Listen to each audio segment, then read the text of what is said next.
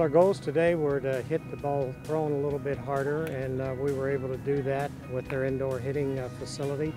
And also, our goals today were to just um, work out in the sun out here in Oklahoma and get a, get a feel for the atmosphere and the weather, and uh, it feels great. And again, that's what every team starts, uh, that's their desire when they start the season. And like I said before, there are 290 some teams, and there are eight left. and uh, our kids worked really hard to get here, as did the other seven, so we feel really good about being here, but we want to go out and represent. It's not just about being here, it's about trying to do the best we can on the field, too.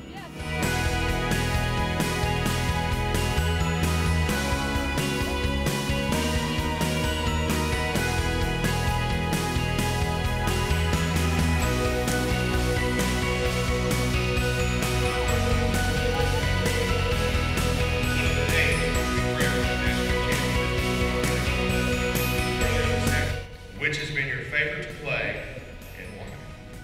My favorite position would be catcher because I get to work with Ivy and Ellen Renfro, who are the best pitchers I've ever worked with. They work so hard every single day, and I'm just so proud of them. I'm proud to catch them. I'm honored, and I'm going to be really sad I don't get to do it next year. But um, I'm just so proud of my team for getting here, so we're excited. Good luck to everybody.